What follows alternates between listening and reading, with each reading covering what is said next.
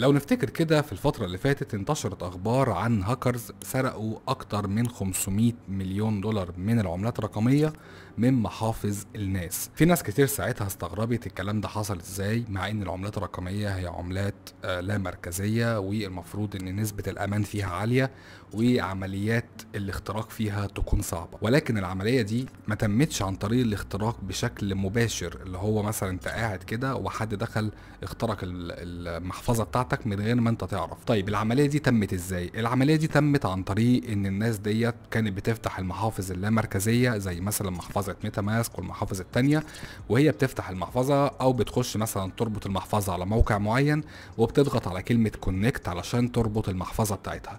أول ما بتضغط على connect مثلا على موقع جديد بيقول لك هنحتاج إن أنت تعمل sign أو توقع علشان تقدر إن أنت تربط المحفظة بتاعتك. طبعا أنت لما بتيجي تعمل sign أو توقع ما بتبصش ولا بتقرأ أنت بتوقع على إيه وبتضغط على sign وبتفضل مستني المحفظة بتاعتك إن هي تتربط بالموقع ده وهي طبعا بتجيلك في صورة إن هي بتحمل ولكن عملية التحميل ديت هو بيكون الهاكر بياخد الفلوس بتاعتك كلها من المحفظة. طيب الكلام ده بيحصل إزاي؟ بيحصل عن طريق عمليات برمجيه معينة بتكون موجودة على الموقع ده وهي إن أنت بتدي موافقة كاملة لصاحب الموقع إن هو يسحب الرصيد بتاعك كله من المحفظة.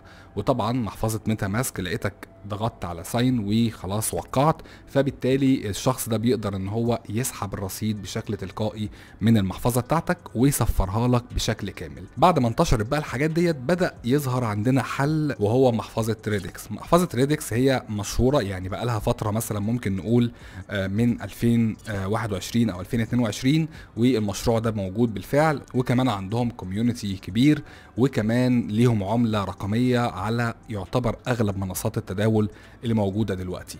ولكن إحنا النهارده مش هن focus قوي على العملة الرقمية قد ما هنركز على فكرة المشروع والمحفظة بتاعته وكمان المشروع بيشتغل إزاي. طيب المشروع ده هو مشروع برمجي بحت يعني المشروع بيهتم بيه ال developers والمطورين على ال DeFi المشروع ده هو مشروع full stack for DeFi اللي هيفهم الكلام ده بشكل كبير هم المطورين أو المبرمجين. full stack يعني المشروع ده هيكون شامل ال back end وال front end يعني شامل تطوير كل من الواجهة الأمامية والواجهة الخلفية للتطبيق اللي بيتعمل على الويب 3 هنا بيقول لك من خلال منصة Radix كل الناس هتقدر إن هي تبني المشاريع بتاعتها على الويب 3 وكمان هنا موضحين إن أنت حتى لو ما عندكش خبرة في البرمجة ومش فاهم إزاي تطور تطبيقات ويب 3 هيقدروا إن هم يعلموك من خلال الموقع بتاعهم. يعني متاح عندهم التعليم ومتاح عندهم بناء المشاريع. طيب عندنا هنا المشروع اللي هم بانيينه بالفعل وموجود دلوقتي هو Radix Wallet دي المحفظة اللي هم عاملينها طبعا علشان التكامل بتاع المشروع لأن أنت علشان تقدر إن أنت ت access على ال platform الخاصة بيهم أو المنصه اللي هتقدر إن أنت تشتغل عليها لازم يكون عندك محفظة Radix وكمان لازم يكون معاك token من عملة XRD دي العملة الخاصة بالمشروع.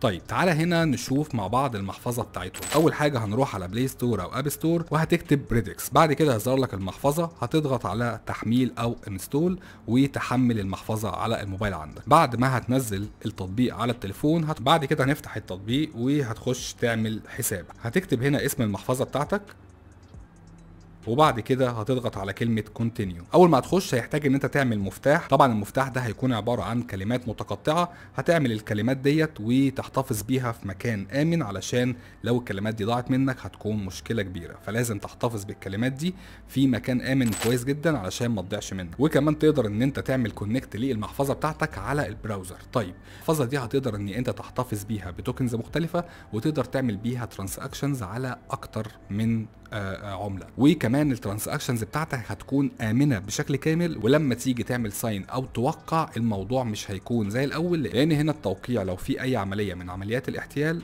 ساعتها المحفظة دي هتمنعك من التوقيع. كمان المحفظة دي من خلالها تقدر إن أنت تضيف أي tokens وتقدر إن أنت كمان تضيف NFT وتعمل staking و pool units طيب دي كلها مميزات هتكون موجودة داخل المحفظة غير الأمان اللي هيكون متاح في المحفظة ديت. طيب في عندنا برضو حاجة تانية وهي إنهم أنشأوا لغة برمجية واللغة دي اسمها Scrypto اللغة دي تم إنشائها مخصوص عشان تدعم مشاريع الويب 3 إن هي تكون مشاريع تمويلية ولا مركزية. طبعا اللغة دي هتقدر إن أنت تتعلمها وتستفيد منها عن طريق المنصة بتاعتهم اللي هنعرضها دلوقتي. طيب هنا في 2021 بيقول لك في أكتر من 12000 developers أو آه، مطور استخدم اللغة ديت وقدروا إن هم ي access وا على آه، آه، لغة ال Scrypto طيب هل كده هم خلصوا فكرة ال- المشروع بتاعتهم؟ لا لسه في شغل تاني ضافوه للمطورين. الناس مطورين الويب 3 حرفيا هيستفيدوا استفادة قوية جدا من المشروع ده.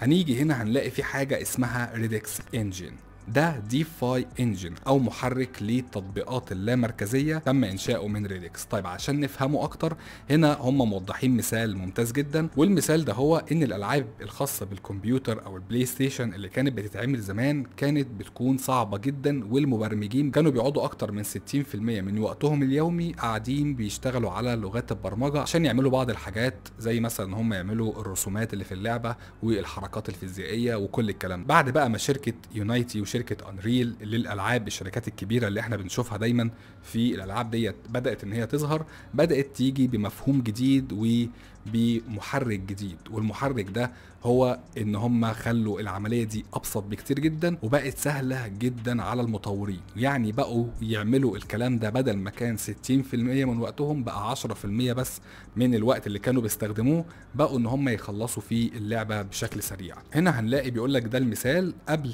ما يتم إنشاء محركات آه، الخاصة بشركة Unity أو شركة Unreal وهنا بعد ما تم إنشائها. طبعا في فرق كبير جدا. طيب هنا بقى بيقول لك هم نفس القصة عملوها. دلوقتي ال DApps أو التطبيقات اللامركزية بيتم إنشائها بطريقة صعبة جدا وبيتم استهلاك وقت كبير علشان يعملوا تعديلات في التطبيق أو علشان يعملوا التطبيق نفسه. ولكن دلوقتي مع التطبيق بتاعهم اللي هو ال DeFi Engine أو Radix DeFi Engine ده سهل العملية وخلاها أسرع بكتير آه، من الأول.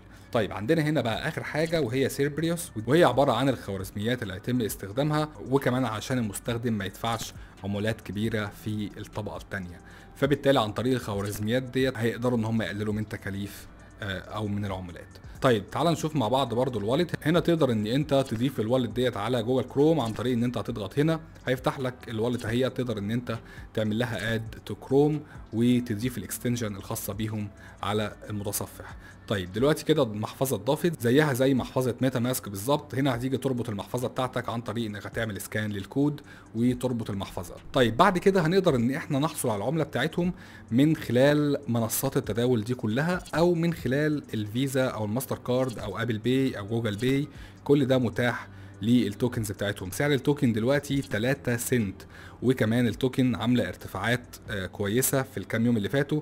لو جينا بصينا على ال chart بتاعها مثلا على منصة Gate dot io هنلاقي إن العملة عاملة ارتفاع جيد جدا في الفترة ديت. طيب في حاجة تانية للناس اللي عايزة تجرب ال transactions على المحفظة ديت. هتقدر إن هي تخش على ال Gumball Club وهتقدر إن هي تربط المحفظة بتاعتها عن طريق إن هي آه، تعمل scan للكود وهتقدر إن هي تحصل على 20 token مجانا من GC وتقدر إن هي بقى من خلال token GC دي تشتري ال gumball أو تشتري ال candies. من خلال الموقع ده. طيب تعال نشوف برضو ال transactions بقى. دي ال dashboard اللي بيظهر فيها ال transactions بتاعه الشبكة الخاصة ب Radix وهتلاقي كل حاجة موجودة بالتفصيل وتقدر إن أنت تطلع عليها بشكل مفصل. طيب حاجة تانية لو جينا بصينا على تويتر الخاص بيهم هنلاقي حساب تويتر الخاص بيهم عليه عدد followers كبير وفي تفاعل كبير جدا والمشروع زي ما إحنا قلنا هو قديم وبقاله فترة كبيرة. طيب في نقطة مهمة بقى ونسينا نوضحها وهي تعال نشوف ال developer program أو آه، البرنامج التطوير الخاص بيهم. هنا هتخش عليها هتقدر إن أنت لو أنت بقى حابب إنك تتعلم وتبدأ تشتغل على الويب 3 وال DeFi هتخش على آه، ال program ده وهتعمل sign up ب GitHub. طبعا الناس اللي ما عندهاش حساب على GitHub هتعمل حساب وتسجل دخول. وتعمل sign up وتبدأ تبعت كل التفاصيل زي خبرتك قد إيه في البرمجة هل اشتغلت في حاجة قبل كده ولا لأ وكل التفاصيل ديت وهتبتدي تتعلم البرمجة على الويب 3 بس فهي دي كانت فكرة حلقتنا النهارده. حبينا إن إحنا نوضح مشروع من المشاريع اللي أنا شايف إن هي يعني ممتازة جدا والفكرة بتاعتها هيكون ليها تأثير كبير في المستقبل خاصة برضو زي ال DeFi Engine أو المحرك التطبيقات اللامركزية. فده برضو من الحاجات المهمة اللي هتعمل فرق كبير في المستقبل بالنسبة لل tokens بتاعتهم وبالنسبة للمشروع نفسه. بس فهي دي كانت فكرة حلقتنا النهارده. ما تنساش إن أنت تعمل اشتراك على القناة ما تنساش إن أنت تفعل التنبيهات وأشوفكم على خير والسلام عليكم ورحمه الله وبركاته.